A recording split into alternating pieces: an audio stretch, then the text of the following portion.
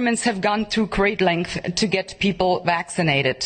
We were promised the vaccinations will be a game changer and it will restore our freedom. Turns out none of that was true. It does not render you immune. You can still contract the virus and you can still be infectious.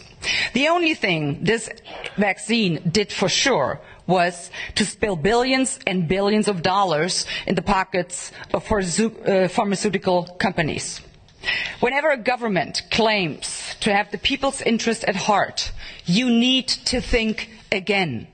In the entire history of mankind, there has never been a political elite sincerely concerned about the well-being of regular people. What makes any of us think that it is different now? Never take anything any government tells you at face value. Always question everything any government does or does not do.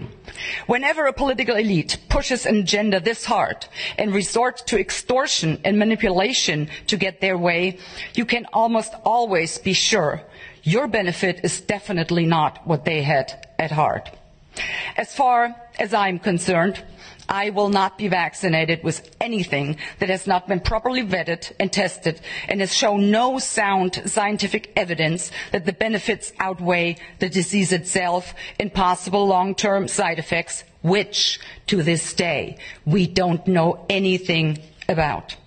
I will not be reduced to a mere guinea pig by getting vaccinated with an experimental drug and I will most assuredly not get vaccinated because my government tells me to and promises in return I will be granted freedom.